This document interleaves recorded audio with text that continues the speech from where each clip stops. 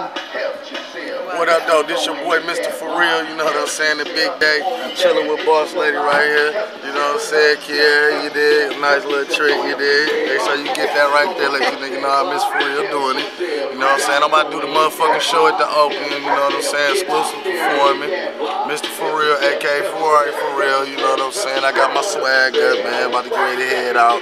Just about to holler at y'all, man. Put this on y'all, man, man. You know what I'm saying? It's sort of like an afterglow effect right here, man. I'm just putting the interview down, letting y'all know the day has come. I'm about to get it out here. Shouts out to my mob boys from Alabama. Shouts out to Calhoun, aka Bob Barker, Hell Pot, Sprout, my nigga Ojo, all y'all niggas from the Alabama. I love y'all niggas. Shouts out to all my Detroit niggas, Number Street niggas, all my West Chicago. I got my Dre Road niggas too off up in this bitch, Dexter and Linwood, nigga.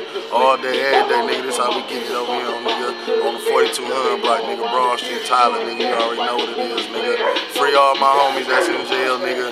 Rest in peace to all my real niggas. Mo said, whatever, nigga? Y'all know what it is. Let's go, baby.